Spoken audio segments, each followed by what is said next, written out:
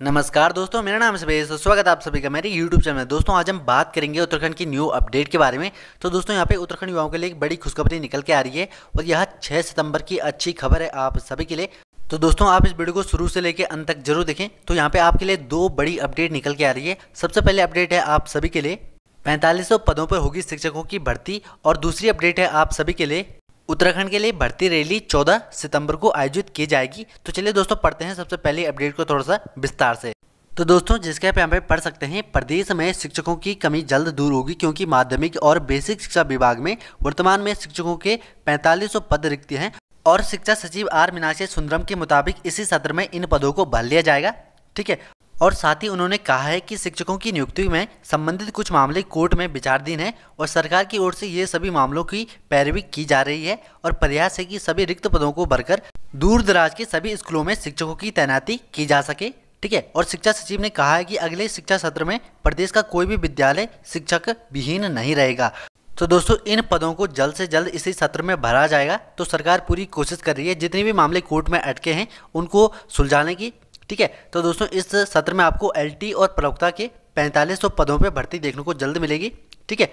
तो चलिए दोस्तों, बात करते हैं हम अगली अपडेट की, जो कि इंडियन आर्मी से है।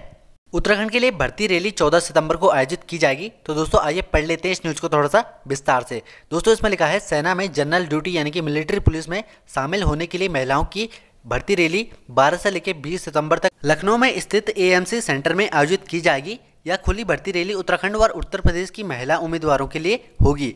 इन दोनों राज्यों में चार हज़ार चार सौ अट्ठावन महिला उम्मीदवारों ने भर्ती प्रक्रिया में शामिल होने के लिए ऑनलाइन आवेदन किया हुआ है और 14 सितंबर को उत्तराखंड के अल्मोड़ा, बागेश्वर, नैनीताल उधम सिंह नगर चंपावत, पिथौरागढ़, चमोली, देहरादून, हरिद्वार, पौड़ी, रुद्रप्रयाग टीरी और उत्तरकाशी की महिलाएँ शामिल होंगी। और सेना भर्ती के निदेशक कर्नल आशुतोष मेहता ने बताया है कि दस्तावेजों की जाँच और भर्ती रैली में शारीरिक मापदंड यानी कि लंबी दौड़, लंबाई, वज़न आदि में सफल अभ्यर्थियों का 15 सितंबर को भर्ती स्थल पर मेडिकल होगा और शारीरिक दक्षता के लिए निर्धारित मापदंड और मेडिकल में सफल अभ्यर्थियों का लिखित परीक्षा जो होगी, वो आपकी 27 अक्टूबर को होगी। ठीक है? और लिखित परीक्षा के बाद आपकी मेरिट लिस्ट लगेगी और मेरिट लिस्ट में जिसके सबसे अधिक नंबर होंगे, उसी का यहाँ पे चयन किया जाएगा। ठीक है? तो दोस्तों, जिन भी महिलाओं ने यहाँ पे, लड़कियों ने आवेदन किया है, यह भर्ती जो नोटिफिकेशन है, वो अप्रैल में आ गया था। मैंने इस पर एक अलग से वीडियो भी बनाई थी, ठीक है? तो जिन भी महिलाओं ने या लड़कियों ने यहाँ पे आवेदन किया है, वह इस भर्ती में जा सकती हैं, क्योंकि इसके जो एडमिट कार्ड हैं, वो ऑफिशियल साइट पे आ चुके हैं। तो जिन भी महिलाओं या लड़कियों ने आवेदन किया है, इस भर्ती के लिए तो वही ही इसमें जा सकती हैं, अन्य इसमें नहीं जा सकते हैं, ठीक है?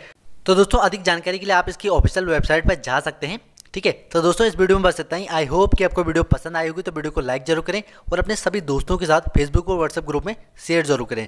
अगर आप मेरे चैनल पर नए आए हैं तो चैनल को सब्सक्राइब करके बेल आइकन को प्रेस कर लें, ताकि जो मेरे हर वीडियो की नोटिफिकेशन है, वो आपको सबसे पहले मिले और आप किसी भी भर्ती से वंचित न रह पाएँ। तो दोस्तों, फिर मिलते हैं किसी नई वीडियो में, किसी नई अपडेट के साथ। तब तक के लिए बाय बेस्ट ऑफ़ लक जय हिंद। वंदे मातरम।